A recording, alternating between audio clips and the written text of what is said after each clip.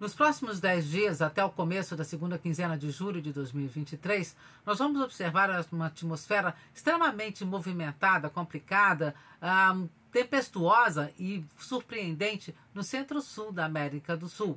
Padrões especiais da pressão atmosférica e de ventos na Antártida e também na América do Sul vão fazer com que frentes frias e ciclones extratropicais passem no sul do Brasil, provocando grandes volumes de chuva que podem causar transtornos para a população, ventania, especialmente no Rio Grande do Sul e em Santa Catarina.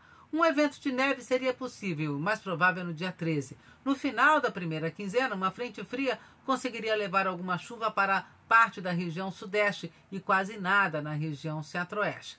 E a segunda quinzena de julho começaria então com a massa de ar polar muito forte, com potencial para provocar aí uh, geada generalizada e temperaturas negativas nos três estados da região sul.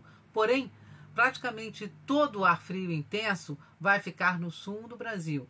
Pouca coisa desse ar frio vai conseguir ser direcionado para o sudeste ou para o centro-oeste.